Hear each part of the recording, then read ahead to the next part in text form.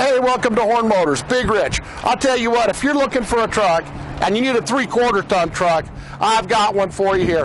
This is a 2009 Dodge double cab, three quarter ton, the 2500, powered by the 5.7 liter Hemi motor that Dodge is just famous for. Lots of power. It's going to get you good gas mileage for a big truck, and this truck is This ready. truck has to running boards. It's got the full tow package. It actually has a gooseneck set up with the hideaway in the bed, and this truck is really nice. I mean, a 2009 three quarter ton truck.